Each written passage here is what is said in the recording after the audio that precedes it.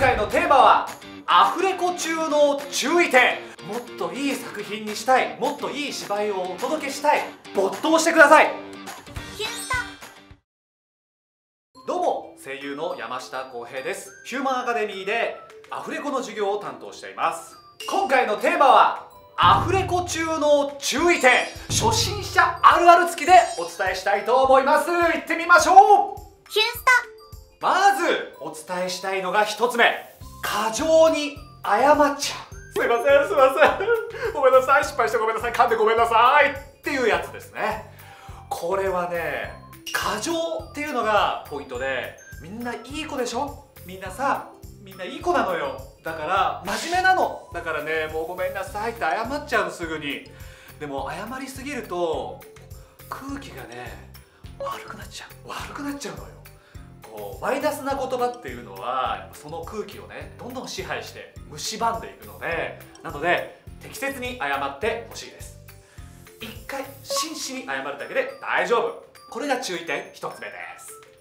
そして注意点。初心者あるある付き2つ目。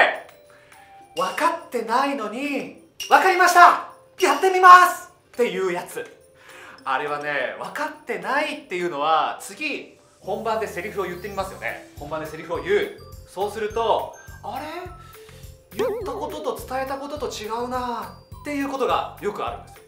これは本人は分かってるつもりかもしれないんだけどこれはね気をつけなきゃいけない。もしちょっとでも不安になったり分からないなって思ってる時はこれってこういうことですか？って聞いてもらった方が制作サイドスタッフ陣は喜びます。そうやって一緒に作っていく。これが大事なのでわからないことがあったらもう聞いちゃって OK!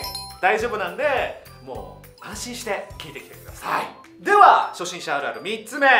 落ち込んじゃう。そう本番中に本番中に落ち込んじゃう子がいるんですよ。いっぱいダメ出しされたりとかオーダーを受けてもうわけわかんなくなっちゃって失敗続きであーもうやだーうーっつって。これはね最初にお伝えしたのと同じなんですけども同じ部分もあるんだけどへこんじゃうともうどうしようもなくなっちゃう。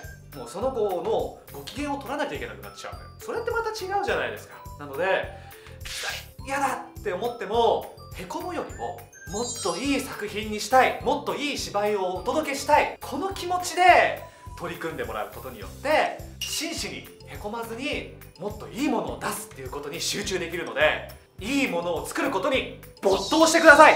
これが一番大事なことです。今回お伝えしたかった一番大事なことはここ。は今声優を目指してるあなたにお届けする有益な情報たんまり用意してますのでこの後の動画もぜひご覧ください。じゃあね。